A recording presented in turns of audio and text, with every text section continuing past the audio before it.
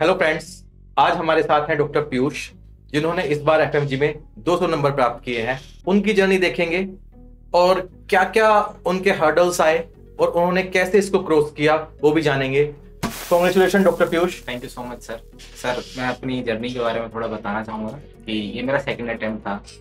तो first attempt जब मैंने दिया था तो उसके बाद मेरे 137 स्कोर आए थे और उसमें मैंने क्लिनिकल सब्जेक्ट को थोड़ा नेग्लेक्ट करा था, जो मेरी थोड़ी गलती थी, पिछली बार में ध्यान नहीं दिया था। बट फिर मैंने थोड़ा रिसर्च वगैरह करके डिसाइड करा कि मैं सेरिबेलम को ज्वाइन करता हूँ। सेरिबेलम ज्वाइन करने के बाद उनका जो स्ट्रक्चर्ड वे था, जैसे उन्होंने तीन लैब में निकाली हुई थी चीज़ें, कि मिशन टू हंड्रेड प्लस उसमें लाइव क्लासेस था, क्योंकि मैं ऑलरेडी कंफ्यूज रहता था कि रिकॉर्डेड वाली वीडियो तो बहुत ज़्यादा हो जाएगी। उसमें कभी भी या तो छह महीने से ज़्यादा भी लग सकता है सिलेबस कंप्लीट करने में। तो वो जो लैब वाइज हमने प्रिपरेशन करी है, उसकी लाइव क्लासेस की, वो बहुत इंपॉर्टेंट रही है। उसमें हर टीचर्स ने कभी भी ऐसा नहीं फील कराया कि कि तुम कुछ मिस आउट कर रहे हो, या तुमसे नहीं हो पाएगा। वो हमेशा पुश करते रहे हैं। अब उसमें सबसे इम्पोर्टेंट चीज़ जो थी, जैसे बायोकेमिस्ट्री मेरे को नहीं समझ में आती थी इतनी। तो उसमें जब आपकी क्लासेस वगैरह हुई उसमें तो जो आपने पीडीएफ में या एनिमेशन वगैरह, क्योंकि वो चीज़ें कुछ चीज़ें समझने वाली होती है वो रटी नहीं जा सकती है। जो बायोकेमिस्ट्री में कंसेप्ट होते हैं और उनको जितने हम निमोनिक्स के या फिर हम उनको एनिमेशन के थ्रू उनको समझ पाए और एब्जॉर्व कर पाए तो वो बहुत इंपॉर्टेंट होती है। तो पीयूष ये बता कि जब पहला अटेम्प्ट क्लियर नहीं हुआ तो उस टाइम पे बहुत थोड़ा सा कंफ्यूजन हुआ होगा डिस्ट्रेस भी आया होगा तो उसको कैसे मैनेज किया और दोबारा से वापस कम बैक करने में देखो मेहनत तो लगती है। तो किस तरह से अपने आप को मोटिवेट किया और वापस फाइट में आए? जब जब सर रिज़ल्ट आया था उस टाइम पे तो सो रहा था जब मैं सुबह सुबह एकदम से रिज़ल्ट आ गया था। तो खुद को फेल देख के तो थोड़ा बुरा तो लगता ही है पहली बार में।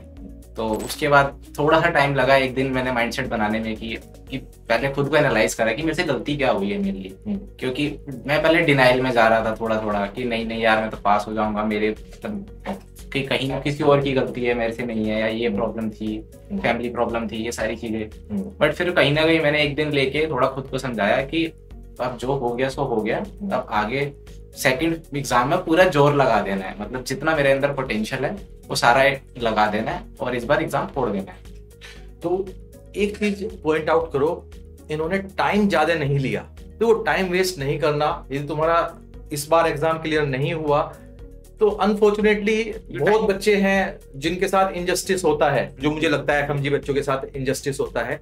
लेकिन जो अब हो चुका है उसमें टाइम वेस्ट ना करके जल्दी से जल्दी वापस आ जाए। सर और पहली गलती इसने पहले अटेम्प्ट में की थी जो भाई ने बताया कि क्लिनिकल सब्जेक्ट को इसने इग्नोर किया था। तो कोई नॉट ओनली क्लिनिकल सब्जेक्ट किसी भी सब्जेक्ट को इग्नोर नहीं करना बिल्कुल सारे सब्जेक्ट्स इंपॉर्टेंट है, क्योंकि आपको नहीं पता कि किस सब्जेक्ट से किस हिसाब से क्वेश्चन घूम के आ जाए। अगर आपको, आप शायद क्लिनिकल भी सारा पढ़ के चले जाए बट क्या पता वो क्वेश्चंस क्लिनिकल के भी वो फैक्चुअल क्वेश्चन पे पूछ ले वन लाइनर पूछ ले तो ये चीज़ नहीं पता है। तो अगर आप सारा सब्जेक्ट पढ़ के चलोगे मतलब उन्नीस के उन्नीस सब्जेक्ट एटलीस्ट जितना सैरी बेलम ने मिशन टू हंड्रेड में कराया है, अगर उतनी भी इंफॉर्मेशन आपको पता है और वो आपको याद है रेगुलरली आपने रिवाइज करा है तो आपको कोई नहीं रोक सकता क्लियर करने इतना टफ एग्ज़ाम कभी नहीं आता है कि बच्चे पास ना हो पाए।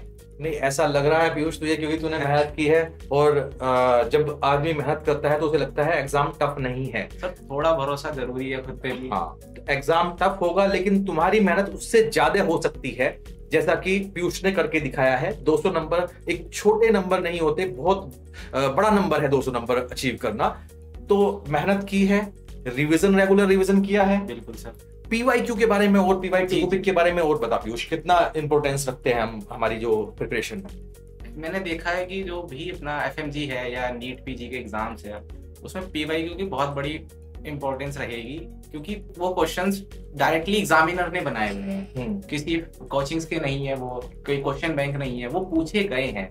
मतलब वो इम्पोर्टेंट है।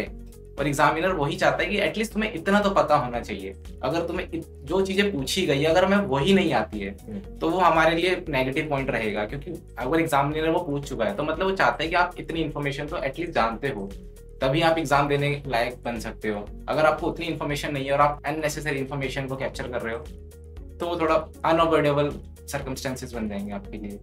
अच्छा ये बता तैयारी के टाइम अपने लिए मी टाइम भी कुछ निकालता था? क्योंकि देखो होता क्या है कि हम कई बार अपने आप को इतना स्ट्रेस दे देते हैं और उससे हमारी थोड़ी मेंटल वेलबींग पे इफ़ेक्ट पड़ता है।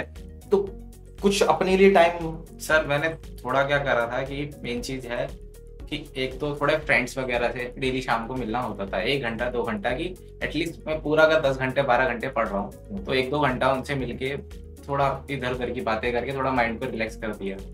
बट मैं दूसरी चीज़ जो करता था कि वो मैं सोशल मीडिया बिल्कुल नहीं चलाता था। क्योंकि उससे मेरा इन्फॉर्मेशन ओवरलोड बढ़ेगा ही, कम नहीं होगा। और मैं कोशिश करता था कि सिर्फ़ और सिर्फ़ मैं मेडिकल की इन्फॉर्मेशन को ही, क्योंकि चार महीने की बात है, अगर मैंने चार महीने, पाँच महीने अपना पूरा दे दिया तो फिर वो बाकी का टाइम में छह महीने चाहे मज़े भी कर लूँगा, कोई इशू नहीं रहेगा। छह महीने इंस्टाग्राम चला लो या जो मर्ज़ी देख लो, वो फ़र्क नहीं पड़ेगा था। बट वो चार महीने आपको पूरा ज़ोर लगाना पड़ता है। हर एक दिन, हर एक मिनट इंपॉर्टेंट है। मज़े करने ज़रूरी है, ऐसा नहीं है मज़े नहीं करने हैं। बट वो चार महीने बहुत इंपॉर्टेंट रहते हैं प्रिपरेशन में। क्योंकि ये चार महीने एकदम लास्ट डे तक है ना, अगर आपने पुश दिया है तो इट विल श्योर है। तो देखो, इसको सीरियसली लेना है और अपने लिए थोड़ा सा टाइम निकालना है सोशल मीडिया से हटके रहना है। एक्स्ट्रा इंफॉर्मेशन ज़रूरी नहीं है कि तुम सोशल मीडिया पे लगे रहो और एक्स्ट्रा इंफॉर्मेशन इकट्ठा करते रहो। एक सोर्स हो अच्छा सोर्स हो सफिशियंट सोर्स हो तो एग्ज़ाम आराम से क्लियर हो जाएगा। एक चीज़ और थी सर कस्टम मॉड्यूल्स बहुत इंपॉर्टेंट होते हैं स्टूडेंट के लिए क्योंकि आप जैसे एग्जामिनर ने फिफ्टी फिफ्टी वाले स्लॉट्स एमसीक्यू बना दिए हैं हम्म। तो बहुत सारे बच्चों को पहले मुझे भी लगता था कि यार कि शायद मेरे पे टाइम कम बचेगा। हम्म। मैं पचास मिनट में क्वेश्चन नहीं कर पाऊँगा। बट सेरिबेलम में एक फीचर है ना पैंतीस मिनट में आप पचास क्वेश्चन अटेम्प्ट करके देखो। हम्म, हम्म। पैंतीस पैंतालीस पचास। हम्म। तो मैं क्या करता था कि पैंतीस मिनट में हर पचास क्वेश्चन का स्लॉट बनाता था मल्टीपल सब्जेक्ट्स की। शुरू करें। पहली बार जब मैंने दिया था तो शायद बीस स्कोर बना। फिर धीरे धीरे बस मेरे को खुद से ही चैलेंज रहता था कि बीस से इक्कीस जाना है पच्चीस जाना है तीस जाना है। तो लास्ट मंथ आते आते मेरा स्कोर पचास में से फोर्टी फोर्टी फाइव ऐसे रहता था। पी वाई क्यू वगैरह में। P Y Q custom module बहुत ज़्यादा इंपॉर्टेंट है। प्रिपरेशन फ़ेज़ में। क्योंकि इसे डर हम फेस करते हैं और खत्म कर लेते हैं अपने डर को। बहुत अच्छा। यानी क्वेश्चन को रिवाइज तो करना ही है और कस्टम वाले होंगे जो पैटर्न आने वाला है उसी को तुमने प्रैक्टिस कर लिया तो कहीं ना कहीं एक एंजाइटी को तुम कम कर रहे हो। अच्छा आगे का क्या प्लान है? सर आगे तो अभी पहले फ़िलहाल मस्ती करनी है हाँ। घूमना वगैरह है। क्योंकि चार पाँच महीने जो दिए हैं बर्नआउट भी रहा है काफ़ी टाइम काफ़ी टाइम लगा था कि पता नहीं क्या होगा कैसे होगा। But hmm. थोड़ा दोस्तों ने थोड़ा टीचर्स ने मतलब लास्ट डे तक कुछ करते रहे हैं कि भरोसा रखो कि जिसने मेहनत करी है जिसने चीज़ें समझी है जिसने अपना बेस्ट दिया है उसका तो होगा ही। बहुत अच्छा बहुत अच्छा। तो दोस्तों कंक्लूजन ये है कि अपना एक विजन बनाओ जैसे पीयूष ने प्लान बना रखा है कि हम मस्ती करेंगे मौज करेंगे एंजॉय करेंगे लाइफ को तो तुम भी एक टारगेट बना लो। बस चार पाँच महीने की बात है। और चार पाँच महीने अपने आप को और पूरे स्ट्रिक्टली अपना पूरी मेहनत के साथ इस बार फोड़ देते हैं एग्ज़ाम फिर उसके बाद तो मस्ती ही मस्ती है। Thank you Piyush for coming and congratulation again and best wishes for your future thank you sir